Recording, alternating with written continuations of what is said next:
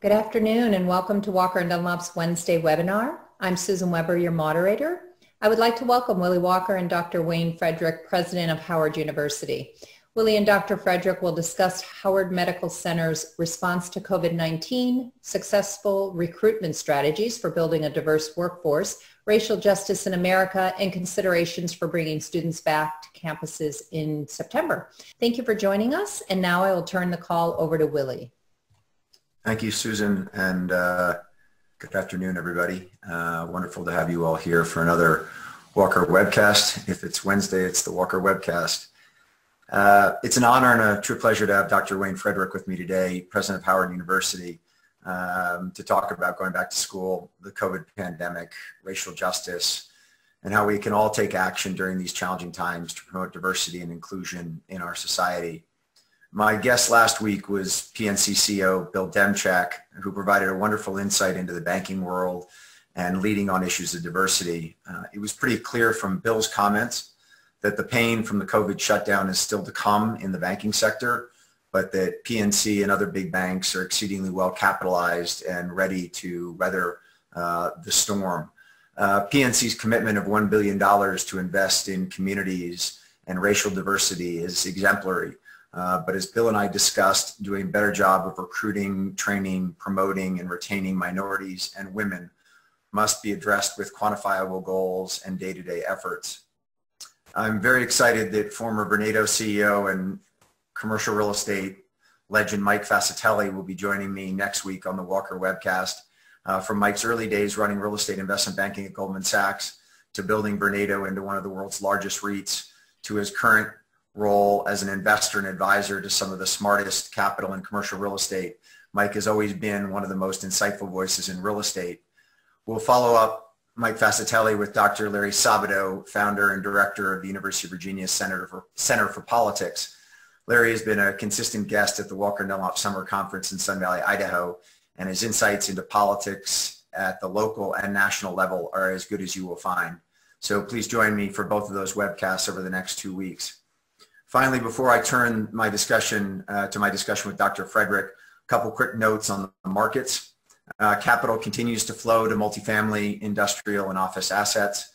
Many of the multifamily assets that came to Walker & Dunlop for forbearance at the beginning of the COVID crisis are in the process of getting current. Uh, we've seen very few new requests for forbearance. Uh, as some of you may have seen, Fannie and Freddie's multifamily forbearance requests increased to $12.2 billion at the end of June, uh, largely due to a seniors housing portfolio owned by Blackstone that requested forbearance. Um, I would note that CoStar just published their quarterly multifamily update, and I would strongly recommending, re recommend watching uh, John Affleck's summary of market conditions. Uh, in that summary, John underscores the strength in the suburban markets over urban markets and he also underscores the very significant rent decreases taking place in high rent areas such as San Jose and San Francisco. Um, as I mentioned on the webcast last week, we're seeing increased sales activity of multifamily properties heading into Q3. We're still seeing very robust refinancing volumes as base rates and spreads remain low. And we actually closed on a $10 million hospitality construction loan. So we actually closed on a hotel construction loan last week um, a first since uh, COVID hit. So um, while the markets are anything but back to their normal um, state, um, we are seeing some thawing in various sectors. So let me turn to Dr. Frederick. Uh, first of all, Wayne, it's, it's a real joy to have you with me today, and I greatly appreciate someone who has as busy a schedule as you do um, taking the time out uh, to discuss what you are seeing in the world today. Um, as an introduction, Dr. Frederick was born in Port of Spain, Trinidad, and graduated from high school at the age of 14. Uh, he enrolled at Howard University at the age of 16 and had completed his bachelor's degree and his medical degree by age 22. Uh, he performed his oncology fellowship at the MD Anderson Cancer Center at the University of Texas. Dr. Frederick was named the 17th president of Howard University in 2014 and sits on the board of Humana Mutual of America, the U.S. Chamber of Commerce, the Federal Reserve Bank of Richmond, and is also chairman of the Consortium of Universities of the Washington metropolitan area. There is so much to discuss with Dr. Frederick, and I'm extremely thankful for his time and thoughts today.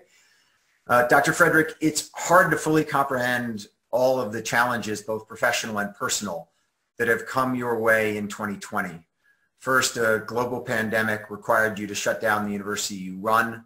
Uh, second, the pandemic required Howard University Hospital to continue providing care under exceedingly challenging circumstances. And third, the murder of George Floyd and subsequent social uprising generated a huge amount of emotional pain and suffering in the African American community. I read the following quote from you, quote, when things are really going haywire and you're in the midst of a crisis in the operating room, some blood vessel has gotten away and is bleeding profusely.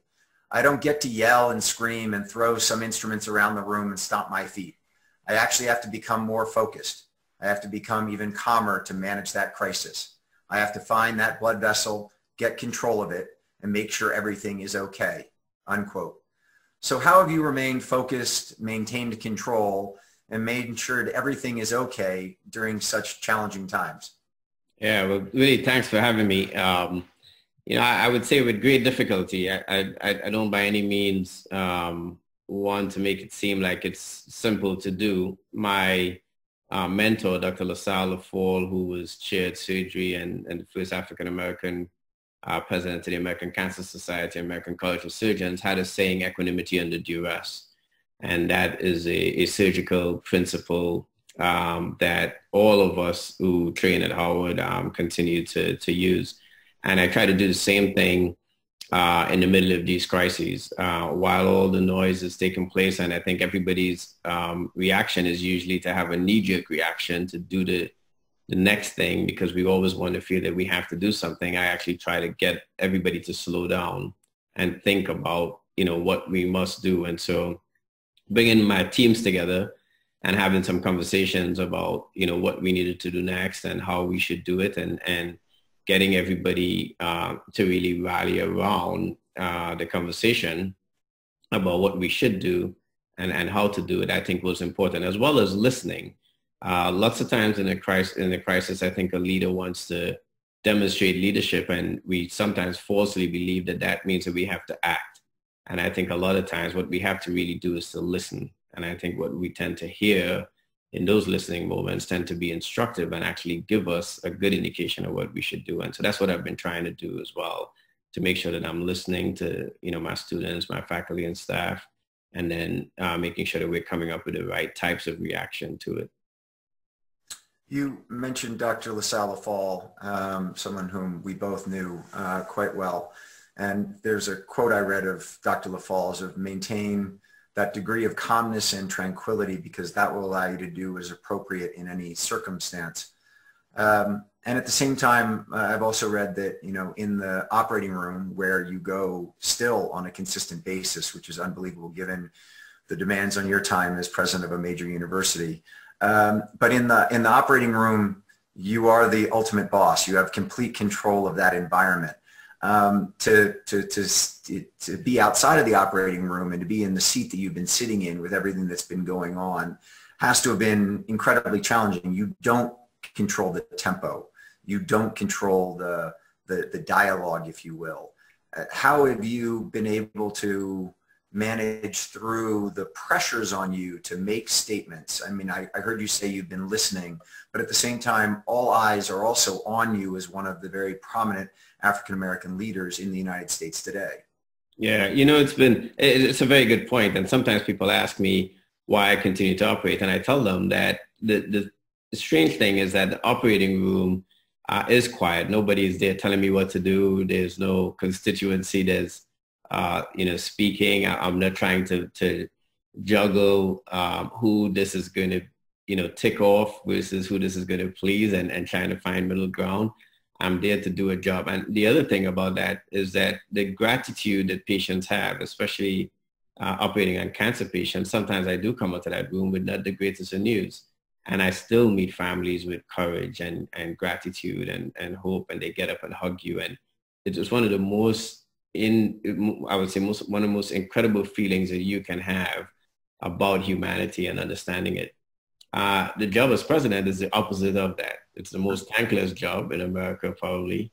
And uh, nothing that you do pleases anyone. You know, there's a board member, you get good financial results, the board members tell you don't uh, over celebrate. you you try to communicate those uh, financial results to the rest of the constituency. They're like, well, you don't need any money. You should give us a raise. You know that type of thing. They don't see the challenges, and so yeah, it is it is that juxtaposition. But I do think that operating in both of those worlds um, does help me to keep an even keel and, and make me recognize what's important. And that's what I, have tried to do. So yes, uh, having financial strain is difficult. Um, being in, in the middle of a pandemic and trying to juggle navigating your way through it is difficult.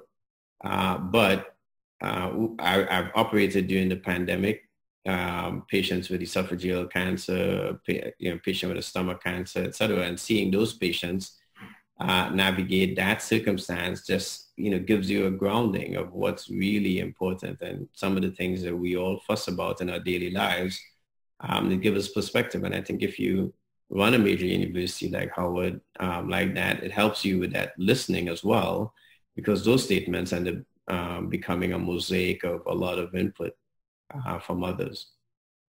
Your comment as it relates to putting everything into perspective and thinking about those patients that you um, operated on during the pandemic and, and putting their pain and suffering in the context of what all of us were doing is, is, is super helpful. You were diagnosed with sickle cell anemia at birth. Um, I'm assuming many of our listeners don't know exactly what sickle cell anemia is and, and, and, and what it is like to have it. Can you describe for a moment what the disease is and, and, and how you manage having sickle cell anemia?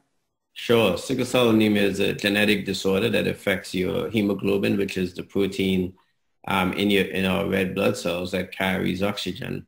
Uh, there's, it's one of the most studied and known about genetic disorders because it demonstrates that when you just have one amino acid, which is the smallest product of a protein, um, in the wrong place in a genetic sequencing code, um, it, you can have such a dramatic change. And what happens when I get into a deoxygenated state, uh, such as overexertion, overly stressed, um, high altitude, uh, that hemoglobin molecule uh, becomes very, very stiff and it, it deforms the cells and those cells become sickled and they can get stuck in your blood vessels, etc. So, you know, in young kids, for instance, um, that can result in strokes. And I've met, um, you know, teenagers with sickle cell who had strokes when they were five and six. Uh, the life expectancy uh, is, has also been significantly shortened as well. And so the primary manifestation of it is the pain that you get in those deoxygenated states because the blood vessels, especially at your joints, uh, get clogged with those red blood cells, and that pain is, is pretty severe. I've broken an arm and a leg both playing soccer, and I have not experienced the kind of pain that I get um, from a sickle cell crisis. So it can be a very debilitating uh, disorder. So with that as the backdrop, let me try and understand a little bit how you are where you are today. Because you know when you're at MD Anderson doing your oncology fellowship, it's pretty clear that you're going to be one of the very, very best cancer surgeons in the, in, the United States, if not in the world. And you have the opportunity to basically control your world, be an incredible physician and, um, you know, raise a family and, and, and, and proceed forward, if you will. And I'm not trying to say that's just being a surgeon because we need more surgeons and you would have, you still are a fantastic one.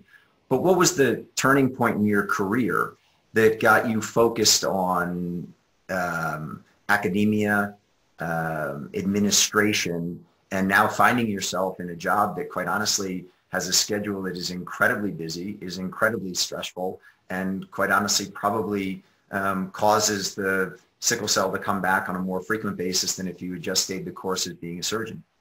Yeah, you know, coming to Howard was key. Um, Howard University has a sickle cell center, uh, which they've had since the year of my birth in 1971 and meeting peers with sickle cell, um, getting counseling in that group, uh, also uh, just learning about my disease process was really, really important. Learning what my triggers um, were, uh, I think was critical to how I managed my disease and, and how I was able to put things in perspective. Uh, Dr. Leffall was a big influence, and so he, he being an academic surgeon, uh, one of the first hurdles I had to kind of get over was uh, whether or not I could even do general surgery. At that time, we would take 16 residents and uh, only six would finish. We used to call it a pyramid program. Uh, fortunately, that's illegal now, but back then it wasn't. Uh, that attrition was, was very high and, and it was stressful, but I had learned uh, some, te- some techniques to cope. And yes, I did get sick while doing my residency and I had to put that in perspective, but his influence was important. I also had um, a, a, an opportunity to meet with Ben Carson when I was a resident. I reached out to him and my mom was a, a big fan of his book and his career. And he was gracious enough to meet with me for about 35 to 40 minutes uh, up at Hopkins. I traveled up to Baltimore and I told him I wanted to become a surgeon and I wasn't sure if this was something I could do. Uh, he said to me he had never met somebody with sickle cell who was a surgeon. I still haven't met someone myself. Um, but, you know, he, he really encouraged me in that little period of time. And I think sometimes we don't appreciate how if we just stop ourselves long enough to smile at someone or to give a kind word of advice, how big an influence it could be. And I thought to myself, he is one of the greatest neurosurgeons of our time um, who took time to meet a medical student, not from his medical school, uh, but from Howard, and uh, you know, encouraged me to to do it and to go after it. And so I always felt I wanted to be in an academic setting uh, because of the ability to teach, and I, I enjoyed that aspect of my training. And I thought that uh, if I could stay in that realm, I'll do it. I will admit that I'm probably a reluctant president because I never had any um, ideas of becoming a university president. Uh, and some of this happened, you know, uh, I would say kind of because of circumstances in the right place at the right time. As I tell young people, I always prepared myself well. I got my MBA while being a full-time faculty member at Howard as a surgeon. Um, but I, I try to be aspirational about the things I want to do and not necessarily ambitious. And yes, it's a stressful job. Uh, it's time consuming without a doubt. Um, but I think a lot of the techniques that I've learned earlier on in my life uh, to cope um, have really proven to be helpful. It's really interesting. Your, your comments about Dr. Carson um, remind me of um, when you were doing your medical studies at at uh, at Howard and the and having worked with Kurt Newman over at Children's Hospital, where I'm on the board, and and Kurt is a, a friend of both of ours. But Kurt is, I believe, one of only five percent of hospital administrators in the United States today are actually physicians by training.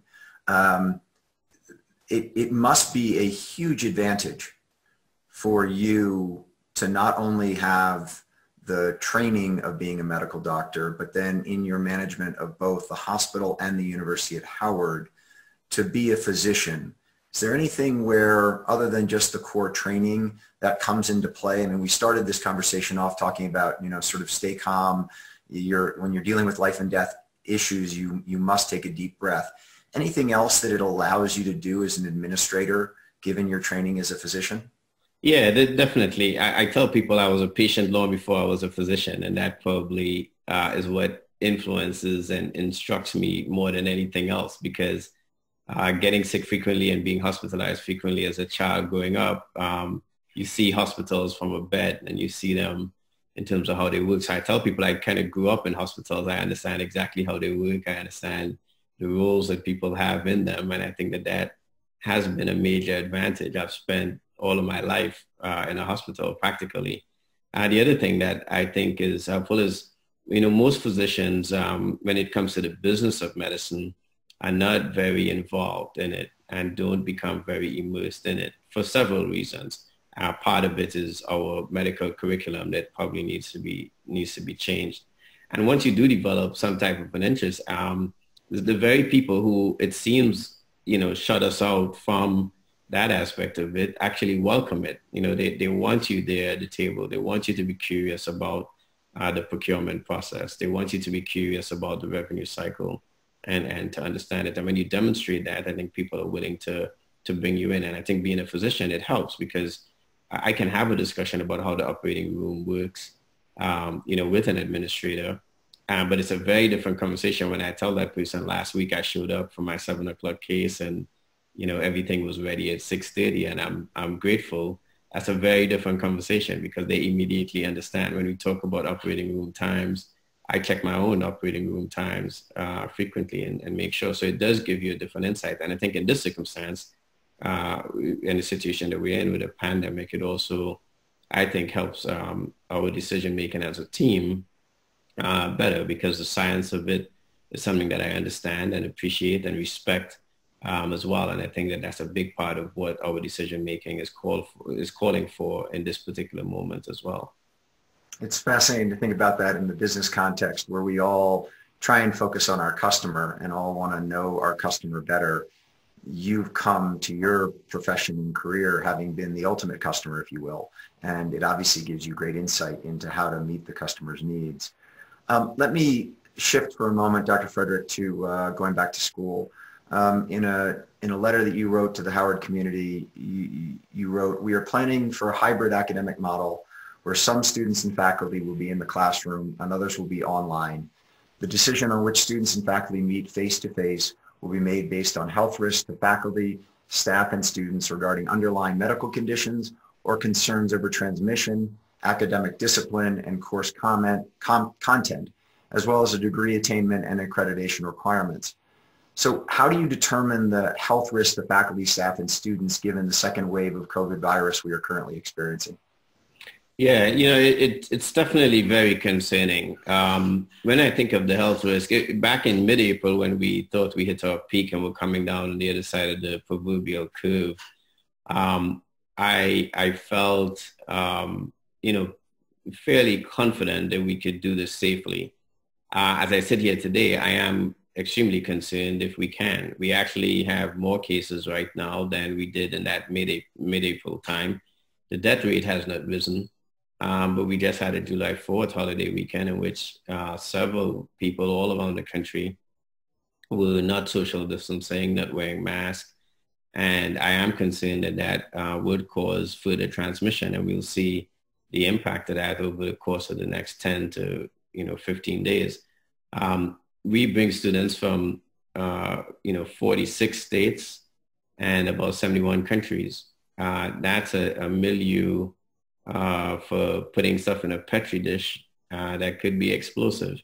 And so we have to be thoughtful about that. Uh, we're continuing to move forward with our hybrid model um, with robust testing, but we are, are going to be very willing to pull that down and go fully online if we just don't think uh, the societal circumstance is going to accommodate what we do. Uh, the other thing I would say about this is that uh, Howard is in a unique circumstance uh, the coronavirus um, infection has uh, disproportionately affected African Americans. Uh, I employ more African American faculty than any other higher ed institution in this country. And so I have a moral obligation uh, to make sure that I don't put them at risk. And for those of them who have underlying uh, pre-existing conditions, um, they would be at risk for death if they were to contract this. So we do have in my opinion, a higher bar to do that. We have to balance that as well against the fact that we also educate a significant number of low-income students. And one of the things that they do get from Howard is being in an environment where they can socialize and also develop soft skills and uh, grow their confidence uh, that's, that's outside of an environment that structurally um, disadvantages them. And, and Howard uh, tends to remove some of that and help them gain that confidence and experience. And so, so we are trying to balance that as well. And doing that online is not the same um, without a doubt. And we want to make sure that those young people don't lose ground as well. You mentioned, Dr. Frederick, the, the disproportionate impact that COVID has had on the African-American community. In Washington, D.C., 80% of the deaths in Washington have been uh, to African-Americans. Do you think this disproportionate impact is due to access to health care the density of the communities where African Americans live, the underlying health conditions in the African American population, or something else, or a combination of all? Yeah, it's, it's, a combination of that as well as something that I would refer to as weathering, um, which I think is a concept that most people don't appreciate. And that is that over time, if you live in adverse conditions uh, that are piled up against you, that consistent, uh, continuous weathering also decreases uh, your ability to participate in the society fully. And I'll give you an example right here in DC. Uh, Ward 3 is 95% white by population. Uh, the life expectancy there on average is about 87, 88 years. Uh, and if you go to ward seven and eight, where it's 95% African American, the life expectancy of an African American male uh, is not quite at 70 years. It's in 60, 67 or 68 years. That difference in a city of this size, you're talking about just a few miles apart. Um, human beings with the same types of organs and could potentially have very similar genetic makeup, same risk factors, uh, have a completely different health outcome experience. They have less access to care. You don't have an acute care facility um, in Ward 7 and 8 where you can deliver a baby. So if you're a pregnant mother getting prenatal care and actually doing a delivery, you have to come across the river to one of the other wards. Um, you don't have but two uh, full service groceries in Ward 7 and 8 that serve about 170,000 residents. So again, if you're looking for nutritious food, um, you're looking for fresh vegetables, that's not as simple a task as um, one may think. And I can go on and on in terms of uh, not having that access. And so when that happens and then you have a virus like this that uh, is going to really adversely affect people with uh, comorbidities such as hypertension, diabetes, etc., the incidence there is, is incredible. And this is the nation's capital. If you look at the maternal mortality rate, the incidence of end-stage renal disease in this city, you would not be sure that you were even in America. And that's, a, and unfortunately, um, a hidden truth that exists right here in our city and something that we have to undo. So yes, there, there are significant disadvantages regardless of all the prosperity uh, that has been occurring in the city over the past uh, couple decades.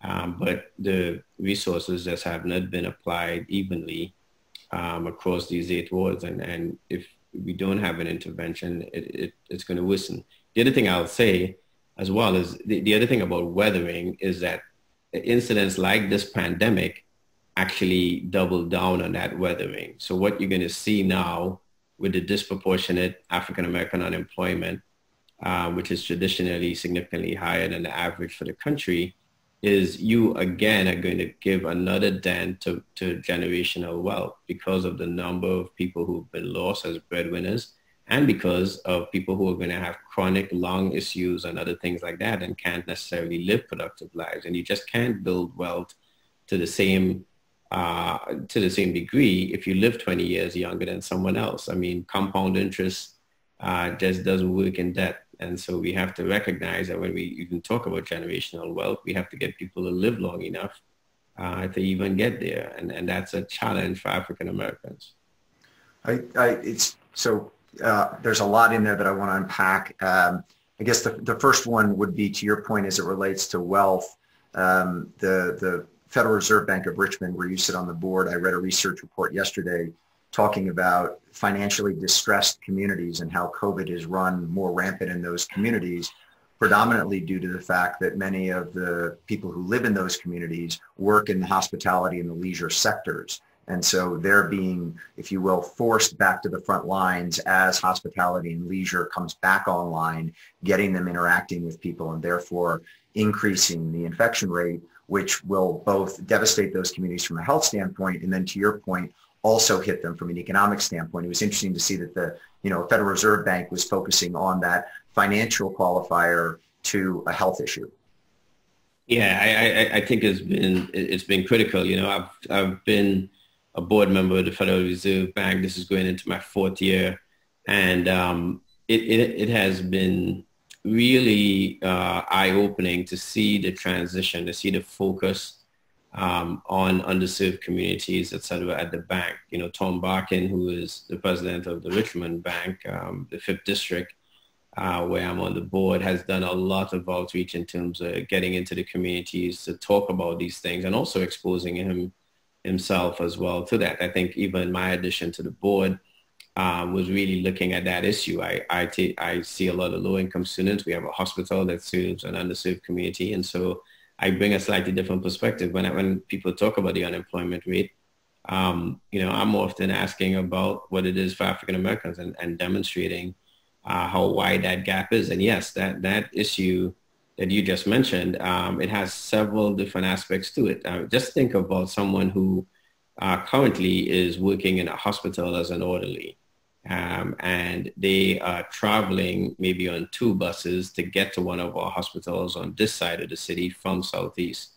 And they contract the virus, they go home, um, they, they're told to self-isolate and or quarantine in a one-bedroom apartment with two or three kids who live there as well. Uh, there's just no way for them to avoid that. There's no way for them to uh, to get away from that. They may get, have a face covering, but they may not have access to masks. And so all of those things, I think, compound the issue. And I do think it's, it's admirable uh, for the Federal Reserve um, to really look at it. And the last thing I'll say is, I think if you look at the data, both in terms of healthcare and in terms of the overall economy, if we spend time lifting up the least of us, uh, the entire country is way better for it and much wealthier. I know in health, we spend more money in the last year of life um, than we do on prevention, as an example. And so you think of the sickest of us, if we could prevent them um, from getting sick, especially when they're younger, um, what that would do to our healthcare expenditure on GDP if, if we put a lot of that money up front in terms of preventing things like hypertension, et cetera. And, and that prevention is not just about medications and screenings, but it is about providing nutritious meals and safe places that people can live and access to quality healthcare as well. As you talk about the disparities and going back to your comment of somebody who lives in Ward 3 versus Ward 7 of Washington, um, on the on the COVID pandemic, you've been very prescriptive as it relates to, you know, all solutions don't fit all communities to the extent where, you know, drive-through testing sounds like a great thing, except for in many communities, particularly in some African-American communities, not everyone has a car to hop in and go through a drive-through testing facility. Is there anything that we really ought to be focused on right now, Dr. Frederick, as it relates to addressing the needs of the African-American community uh, related to COVID?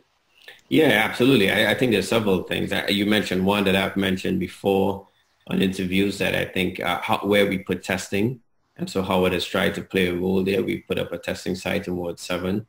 And uh, we, have also taken away the barrier of having to have symptoms, et cetera, because we recognize so many people are asymptomatic and encouraging um, people to, to come and get tested. Uh, a second one that as we look down um, the road that we need to start thinking about um, is, vac- uh, is a vaccine and vaccine trials.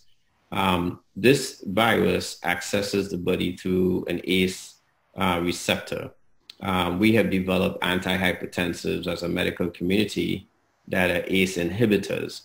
Uh, and some of those drugs did not work as well in African Americans. So I do have a concern that there is potential that the reaction to a vaccine may not be the same.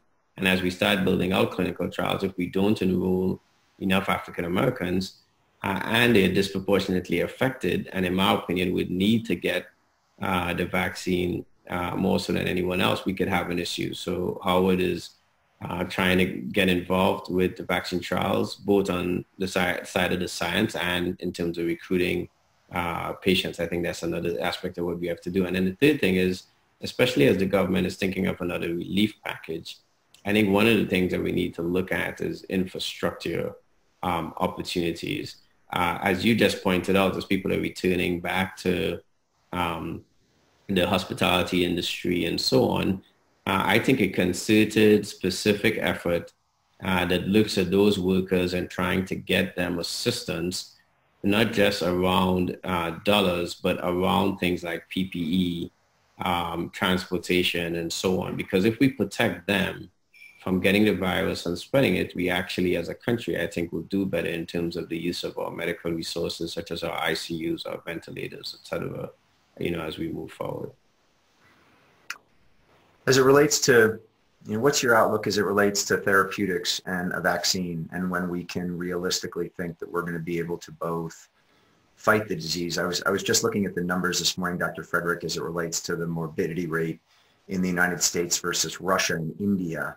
And my assumption would have been that given the medical infrastructure that we have in the United States, that our uh, the morbidity rate would be well below Russia and India, and it's actually much higher than Russia and, and, and India. Now, the virus has been here longer. It is spread more widely, but just on a percentage basis, we're losing more people to this virus than two countries that I, are, are far less developed from a medical standpoint than we are.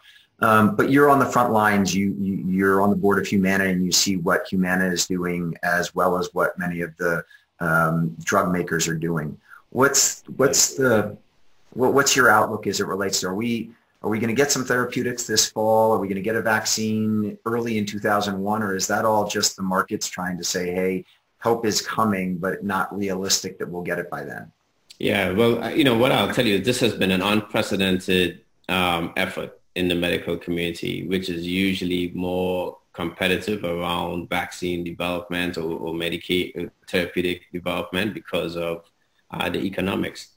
Uh, but I think that, that, that this has represented um, unprecedented collaboration. And I think as a result of that, um, it will yield results. It's hard to say when, but I think it would be unprecedented in terms of how quickly uh, we get to a vaccine and how quickly we get to therapeutics. Now, I think most lay people don't realize that these things usually take traditionally years to develop.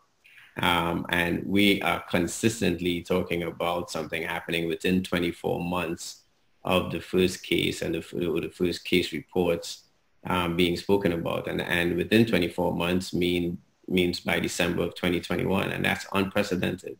Uh, and I think that um, as a, a, you know, as a medical community, we're going to get there um, both in terms of a therapeutic as well as in terms of vaccine. And, and I think that that says a lot for uh, the nature of this entire pandemic uh, uh, on it, uh, of itself. So if we if we go back to bringing students back to school in the fall, um, you know, Howard is located right in the heart of Washington D.C. Um, and it's as urban a university community as you can almost find in the country. I was sitting around thinking about it, and you know, maybe NYU is a more urban located uh, university, but Howard is right in the middle of it. So if there is an outbreak of COVID at Howard in the fall, is it realistic to think that you can quarantine students or control the outbreak? And, and, and, and what, if, what if you do have to shut the university down again um, if you do bring students back? Yeah, it, it, I think it's realistic uh, to believe that we can uh, quarantine, especially with a hospital, um, having the campus de-densified, having the number of students uh, in dorms uh, decreased. All of those things uh, are things that will assist us in being able to, uh, I think, control an outbreak. Um, having said that, the more contagious version of this as a result of the recent mutations uh, does concern me. And so it does also require, we, we will require a lot of cooperation by everyone in terms of uh, contact tracing, being able to tell where people have been, what classroom they were in, um, who else was in the classroom, being able to test those people. Uh, testing is going to be critical in terms of a quick turnaround. And we've secured uh, a, a, free testing solution in which we will have a, a CLIA certified lab uh, stood up at Howard and be doing testing that has a turnaround time of three hours or less. And, and it's key. You don't want people um, out for, you know, several days or, or, a week. You want to be able to turn that around quickly. I think that's going to help us as well.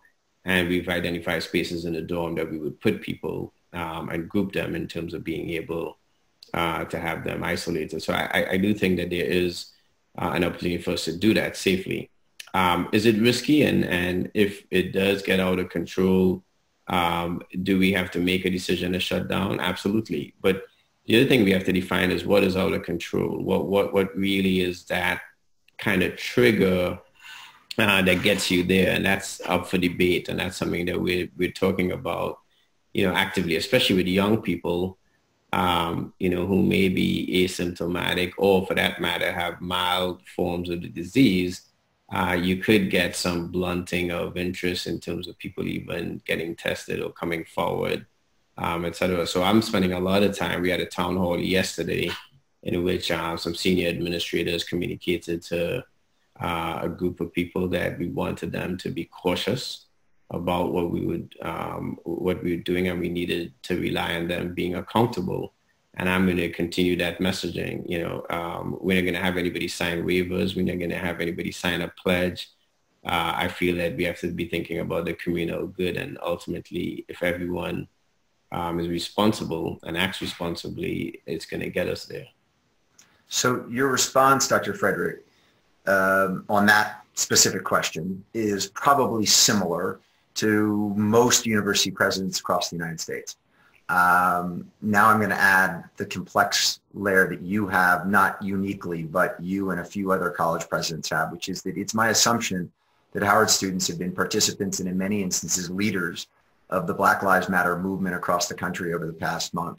And Howard obviously has a long list of prominent African-American leaders such as Supreme Court Justice Thurgood Marshall, Governor Doug Wilder, Mayor Adrian Fenty, and potential Biden running mate Senator Kamala Harris how are you going to manage the significant health concerns of congregating and protesting with the long-standing expectation that Howard students will be leaders on racial justice issues, given the backdrop of what you just talked about of managing the campus and managing the COVID outbreak?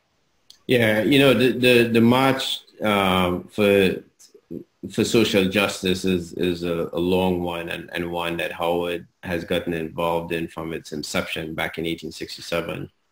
And right now we're in a moment where lots of other people are joining that journey and we're thankful for that.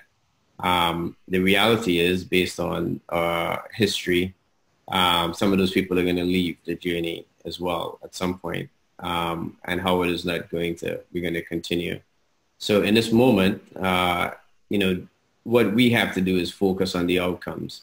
And what I've been talking to my community about is you know, that we have to keep our head down and keep doing the things that we were doing while everybody is concerned and jumping in. Um, right now, we have to welcome them, be welcoming, but we still have to keep focus on doing the things that we need to do to right the wrongs and the ills of our society. And that's what we're going to continue doing. Uh, we have to educate our students and our community about the risk of how that's done. And so we've start, we're going to be starting a series uh, called From Protest to Policy, uh, where we're going to be doing some uh, webinars and symposia directed at our students and the rest of our community uh, to get them kind of focused on what are the solutions around here.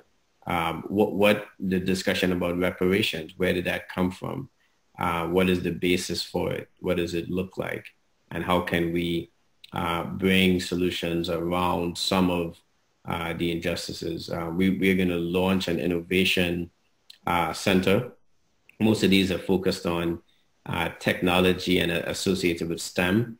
Uh, we're going to launch one where the core is social entrepreneurship, and we've been developing this for the past 12 to 18 months, long before uh, this struck. And what we're going to try to do is to have students, we're going to wrap it with social sciences and humanities, and have students um, be able to engage with big data and technology, as well as venture capitalists, to recognize that they could turn uh, the, the, activity that seeks to close income inequality, look at problems like income inequality, criminal justice reform, they can not only turn those things into careers, but they can turn them into uh, social entrepreneurship opportunities as well. And I think that uh, we can mobilize. So the, the point here is that uh, protesting is an aspect of what we do, um, but it's just one aspect of what they're going to do. And, and they can do that in a responsible and safe manner and a healthy manner. But ultimately, what I think uh, we need to get them focused on and doing is really working on what the solutions are. We're going to try to provide them with many an opportunity to learn about it as well as to get there as well. So I've given talks at Howard. I've recruited at Howard. I've given talks at Morehouse, and I've recruited at Morehouse. And um, it is not easy to gain traction as it relates to recruiting talented African Americans to corporate America what would you give as suggestions to the many, many corporate leaders who are watching this webinar today as it relates to how to get engaged and how to be successful at recruiting people of color into their companies? Yeah, that's a great question. You know, I think my students are looking for a long-term relationship. Uh, they're looking for people who are committed. Um, Jamie Dimon uh, started coming to Howard University to recruit back in 1989. Um, in 2015, I had him back as my charter day speaker, and, JP Morgan has set up a, a, a relationship with um, Howard University where they have students who participate in internships and so on. We have a luncheon after. Um, and obviously the luncheon is to honor uh, the orator Charter Day. Um, he told me he was going to go meet with some students, uh, 20 students in that JP Morgan program, and he'd be right up. I went up to the luncheon. I explained to everybody where he was. Uh, we said the invocation. We ate. We were done. I walked back downstairs, uh, went to the building and the room that he was meeting these students in, and he was still there. So students see him and that company as they have a relationship with the CEO. The CEO is going to show up, miss a luncheon because he's answering every single question of every one of them. I recognize that every CEO can do that at every historically black college in America. I'm, I'm certainly not suggesting that. But I think when people come to recruit, they have to recognize that students are looking for, uh, they, they already uh, suspect that the environment may not um, look like them and may be unfamiliar. And so they want some familiarity. The second thing I try to tell people is that it's a longitudinal process. So it's not a when is career day, you show up on campus, pitch your tent, and you leave. Uh, the companies that are successful with my students, um, you know, reach out to them during their exams. They, they make a schedule and they remember to reach out to them. They call them on their birthdays. They call them randomly to find out how they're doing. They call them when there's activity in the country that they think may adversely affect them. And then the last thing is what we've been doing uh, under my leadership, which is looking at workforce development. And so our project with Google that started as Howard West was an example of that. I've tried to convince companies to invest in the education of my students so that they will be better employees and that that, that recruitment starts with their education.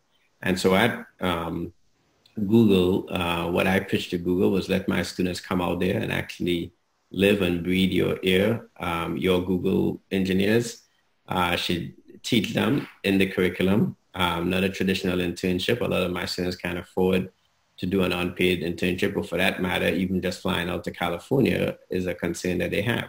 Those students now go out there and spend an entire academic year being taught by Google engineers and Howard faculty.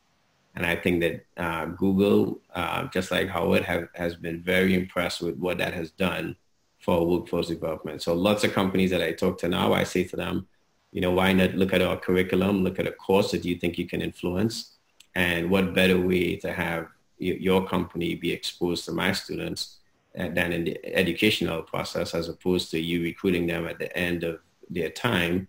You train them, you spend a lot of money the first two years, and then somebody, your, one of your competitors gets them. And I think you can short circuit that as well as create a very different environment for students who, as you just mentioned, maybe more skeptical of corporate America.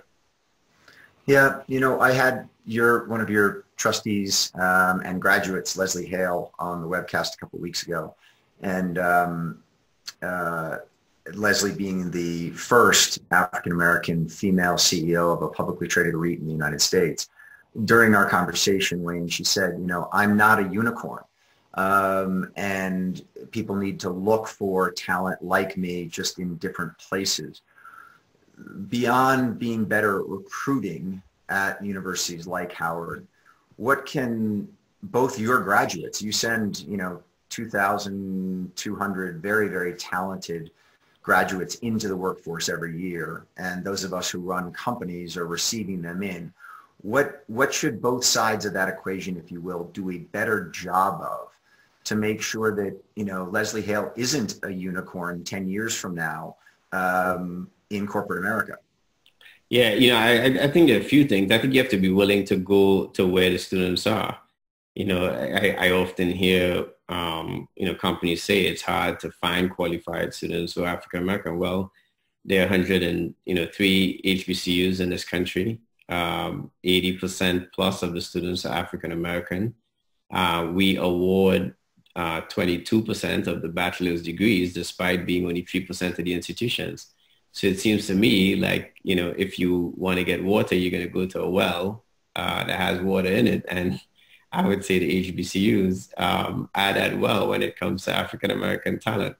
Uh, the second thing is I, I, I, would, I would say is, um, you know, I, I, think sometimes in recruitment, we, we, we think of, and I see it at career fairs at Howard, um, you know, the, the one or two African Americans who may be in the HR group recruiting get sent out uh, to do the career day. And I tell people all the time that's ineffective. You know, uh, that's not what my students are looking for. What they're looking for is can they relate to that person? They feel that they are exceptionally prepared. So again, if somebody takes the time to look at the curriculum and they take the time to kind of think of through or even talk to the faculty about what types of jobs they think students are interested in, et cetera, and you send the people who do those jobs uh, or who are leading in those areas and they can have a really fulsome conversation with that student, I think it's a, it's a much more effective uh, circumstance than somebody who's been with the company for two years and this happens to look like them went to another HBCU, uh, we know what they're going to talk about. And that has very little to do with your company and why uh, they should be spending time there. So you talked about the HBCUs. Tell me about Makur Maker coming to Howard and whether that is truly the game changer that many people think it is as it relates to, um, first of all, it's just, it's unbelievable that a top 20 high school basketball recruit is coming your way uh, and turning down UCLA and Kentucky to come to Howard. Um, and it's such a wonderful move on his part to basically make an investment, if you will, in the HBCU system. Uh, tell me a little bit about, you know, when you got that news and then how is it to change the, the, the focus on either basketball or more broadly academics at Howard and other HBCUs? Yeah, so you know, it, it, it, this is an interesting um, circumstance because he came during homecoming last year. Um, we it was in the middle of a board meeting. I brought him into the boardroom just to say hi. He and uh, his handler, you know, he, he's a very pleasant young man. Um, I was giving I give a presidential address, and while I was giving it, um, he was in the room, so I introduced him uh, to everyone. Um, Kanye West gave a bit of a, a concert on campus. Uh, I happened to be out there. I saw him there. He had a, a closed practice. Um, I was able to sit in the gym and watch him. My point being is that this wasn't a one-off. Um, you know, he I had a lot of interaction with him uh, to really understand who he was about. And when I met with him, um, it, he was incredible. His his conversation about academics. He wanted to know about my own journey to Howard and uh, what I saw in our students. He, he asked all the right questions that I would want uh, any recruit, um, athletic or otherwise, to ask. And so I had a good feeling that if we were going to land him, uh, going to, going to land a prospect like this, it, it would be somebody like him. Um, and we've had other recruits come that are pretty high profile. Some of them have shown up with a full camera crew. And I was realistic that that was not who we were, we were going to land. So I, I, I wouldn't say I was completely surprised. I, I, had a hunch if we were going to get one, it would be him.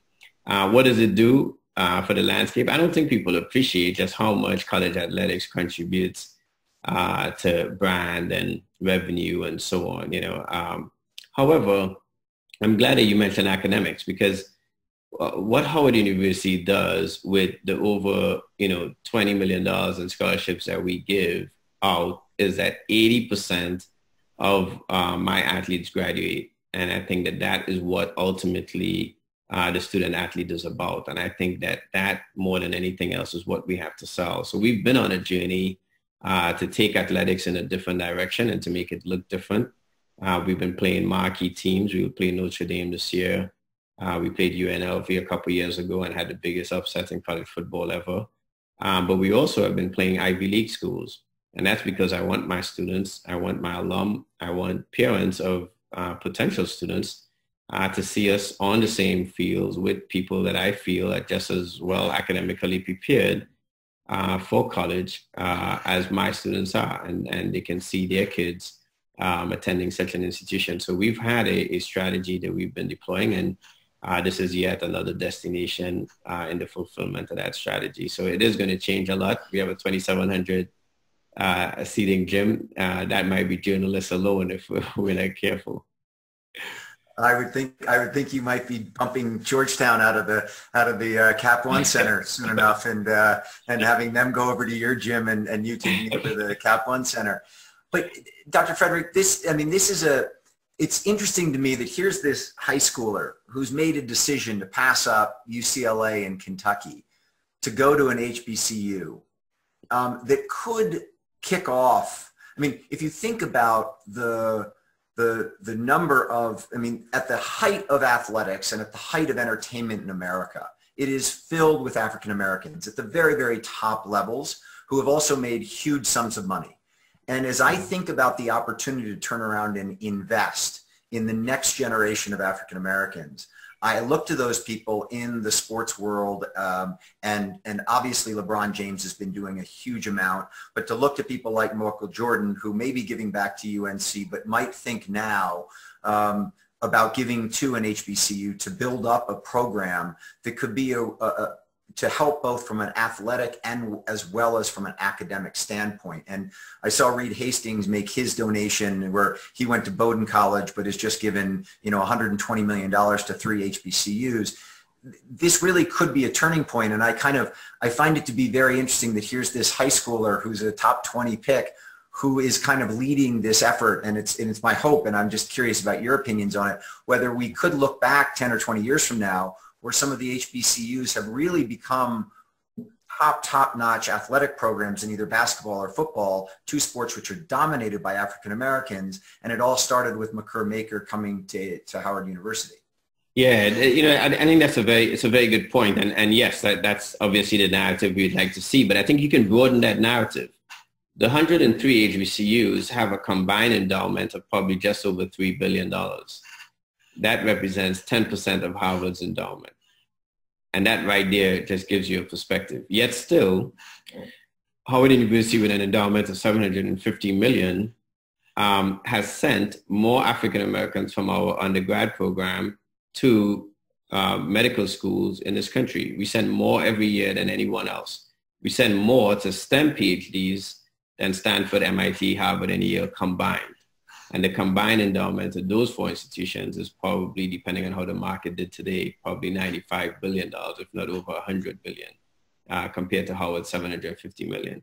So it is an issue of if we can replace resources um, that probably have been misplaced. And I think that if you can do that, you absolutely will have an impact that's uh, incredible. And athletics is one uh, potential place that that can happen uh, without a doubt. But I would say that uh, our calling card at the end of the day, uh, in my opinion, is extremely strong academics. And I think that that's an opportunity for people to invest in um, who want to see probably a more just and, and fairly distributed society in terms of resources.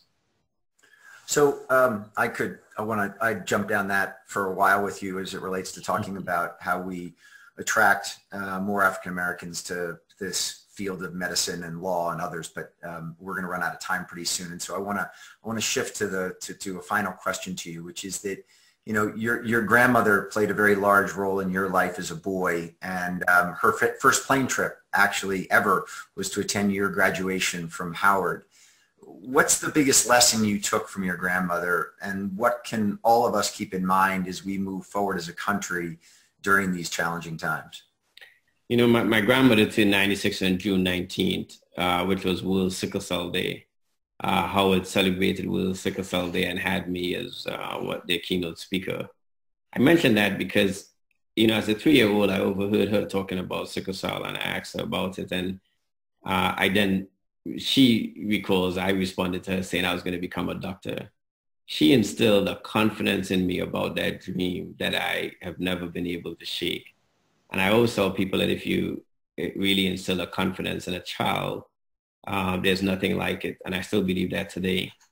But she would lay in a field in Trinidad and see the first planes come into Trinidad when planes started coming in. That's how long she's been on this earth.